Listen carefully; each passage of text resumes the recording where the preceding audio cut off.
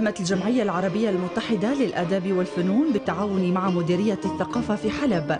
أمسية فنية قدمها كورال حلب الوطني على مسرح المركز الثقافي في العزيزية.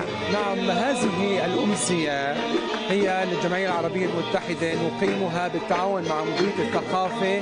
ضمن البرنامج الثقافي الشامل والمتنوع الذي يقام بشكل سنوي للعام الخامس عشر على التوالي.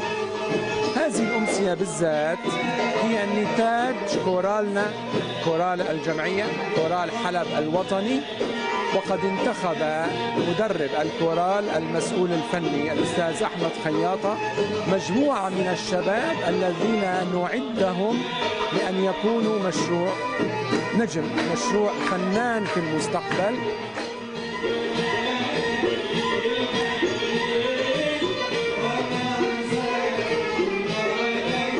طبعا اليوم قدمنا موشحات لملحنين موجودين وعايشين معنا وبيمدونا.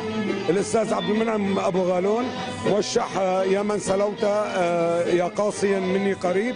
وقدمنا موشحين أيضا إضافيات معروفات بالإضافة إلى إلى كل شاب حبينا نشوف إمكانياته بوصلات يعني عرفتي؟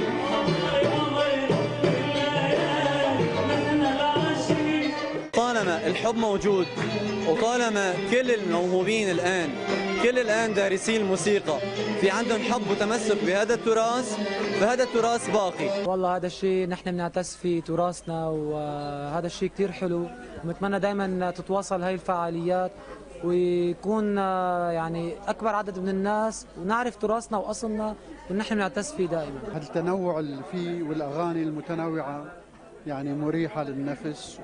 وبتعطي ثقة للإنسان. متدربين كويس وعم يشتغلوا على حالهم.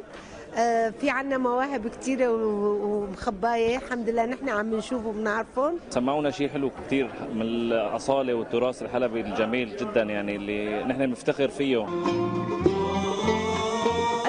تضمنت تقديم موشحات حلبية تعود للتراث العريق لحلب الشهباء والتي من شأنها تهذيب النفوس والتعريف بالماضي الجميل بطريقة فنية تصل إلى قلوب المستمعين.